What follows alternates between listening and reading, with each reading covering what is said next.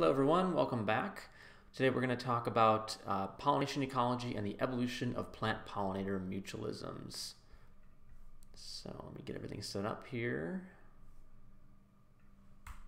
All right. So pollination is an extremely old and important mutualism between animals and plants. Now because plants aren't able to move, they face kind of some unique challenges for sexually reproducing organisms. How are you going to get your gametes from one individual to another without being able to move? It seems like a big problem. So one solution is to actually just do it yourself. So self-pollination is a strategy that a number of plants use to escape the need for insect or animal-mediated pollination. However, there are very few examples of obligately self-compatible plants, that is, plants that exclusively self-pollinate. This is largely due to the evolutionary benefits of cross-pollination, where genes are able to move a considerably greater distance and create novel genetic combinations that are more likely, more likely to confer positive fitness benefits. That means that basically cross-pollination gives you some perks that self-pollination doesn't necessarily get you. So how does a plant go about solving this problem? If it can't move its pollen on its own, what can it rely on? So one way is to rely on some abiotic means of transporting your gametes, such as the wind. In fact, a huge number of anemophilous plants still rely on wind to vector their pollen. Now, such a strategy does have some benefits, uh, and that is first of which is wind is pretty much a guarantee. So, barring being in the very deep depths of a dank tropical forest that's super stagnant, you're probably going to experience wind at some point.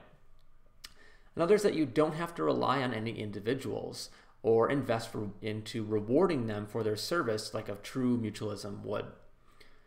However, just throwing your gametes out there and hoping for the best is a pretty risky strategy, and plant density needs to be pretty high to ensure even a chance of reproductive success.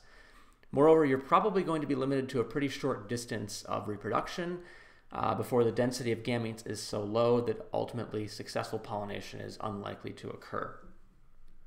More importantly, though, this strategy is hugely wasteful. You need to produce a ton of pollen to have any chance of any reproductive success. Now, if you're a fellow allergy sufferer like I am, oh, this is not going to work, is it? Uh, this is actually a video of a, of a pine tree being felled, and this huge plume that you see in this is a massive cloud of pollen that was released from that pine tree.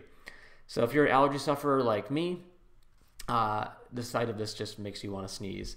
And coniferous trees are an example of anemophilous plants, and the amount of pollen that's produced by a single tree is massive. Now think of that across an entire landscape. Pretty crazy.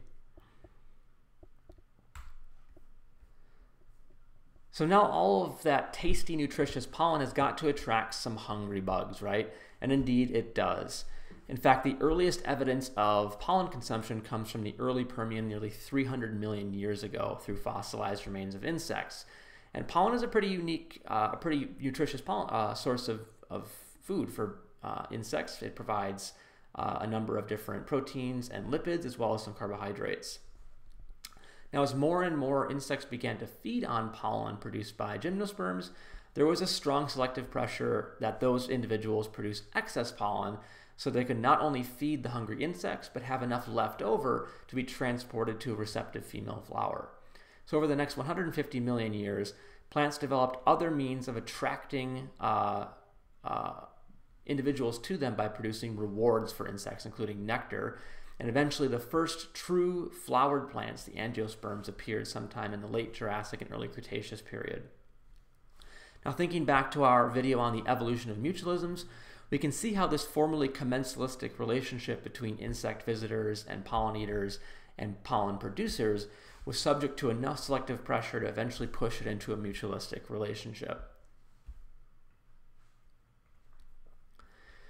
Now, plants beginning to rely on animal vectored pollen could, uh, could realize a number of benefits. For one, the movement of their gametes is now directed. So instead of just sending out um, their pollen into the wind and hoping for the best, insects feeding on pollen are moving it from one flower to another specifically. This allows plants to conserve energy uh, by not having to produce as much pollen, and it also enables their genes to travel a greater distance.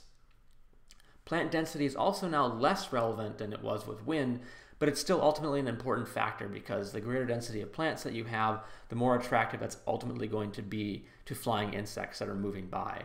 If you only have one plant, it's more likely that an insect is going to pass that by in favor of a larger congregation of, of plants.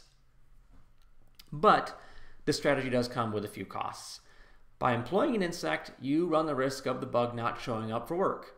You also need to invest in the resources to advertise and reward your workers. Occasionally, those rewards are exploited by non pollinators or they're stolen by pollinators who cheat the system. In fact, cheating is pretty much ubiquitous across mutualisms. Where there are rewards, you will probably find someone who's wanting to exploit those uh, and not give you what you want out of it. In pollinators, nectar robbing is a pretty common phenomenon whereby insects will bypass access to the rewards via the plant reproductive parts, so the stigmas and the anthers where the uh, pollen and um, fertilization occurs, and instead they'll cut into flowers and extract nectar from the sides. Plants can also cheat though, which is pretty unique, uh, and they can trick pollinators into visiting to be um, by pretending to be a mate or some sort of an antagonistic uh, insect that will elicit a physical response from the pollinator. Either they'll try to copulate with the flower or they'll try to fight with that antagonistic insect and ultimately then pollinate the flower unknowingly and without receiving any reward.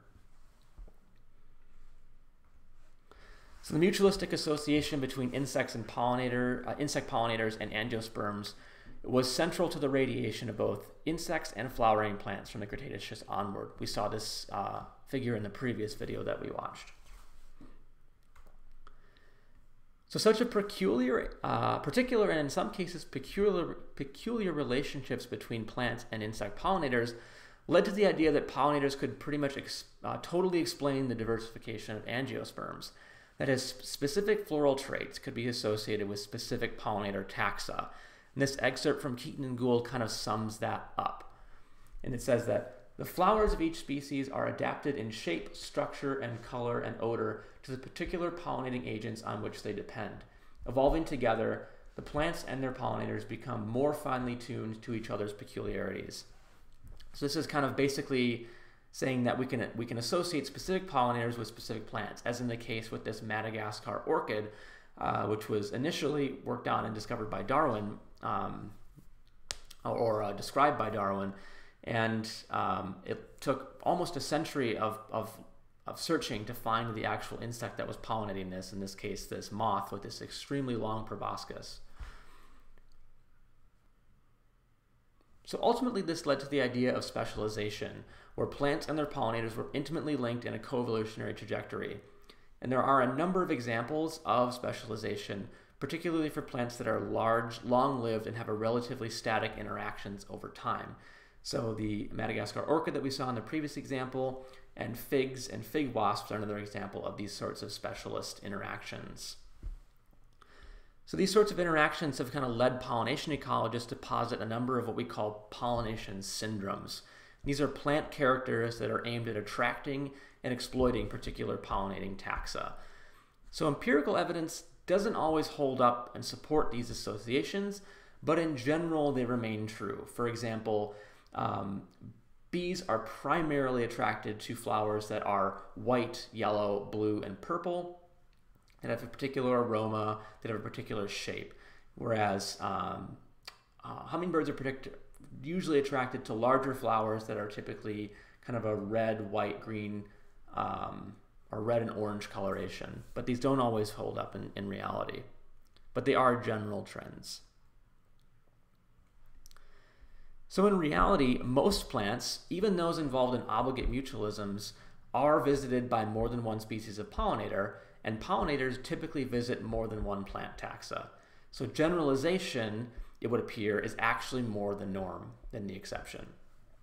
So this strategy is typically favored as floral rewards are similar and not predictable over space and time, and the fact that pollinators have to spend energy and, and there's a cost associated with traveling between flowers and that cost is typically pretty high.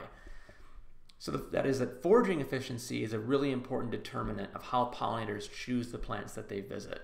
And we can see here in this figure that 91% uh, of species in this particular meta-analysis are visited by more than one um, insect, and some of them were visited by almost 300 different insects, which is pretty crazy.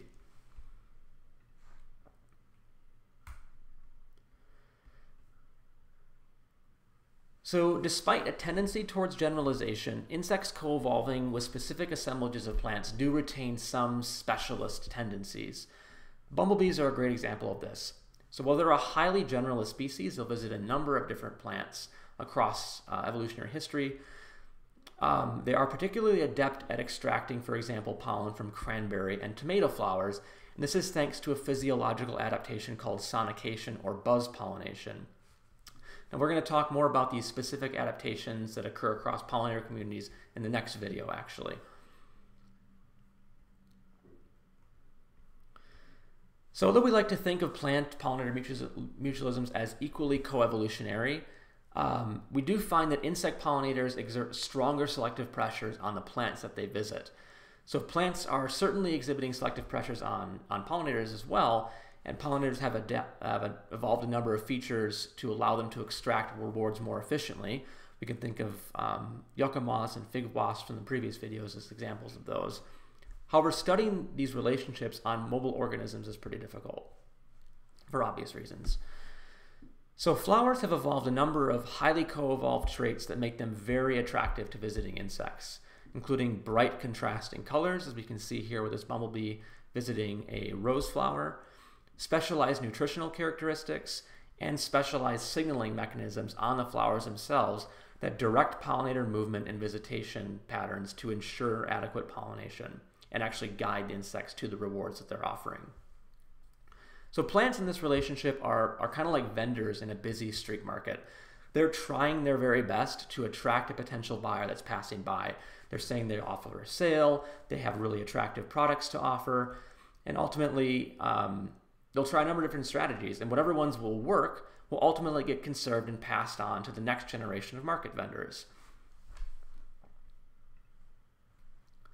And there are a number of cases where plants have evolved some pretty extreme strategies to, be, to ensure successful pollination, including separating their male and female flower parts both in space and in time. Again, we can think back here to the fig wasp, where the female and male receptive flowers are separated in a considerable um, amount of time. And that allows the very unique and highly evolved evolutionary relationship between those species to exist.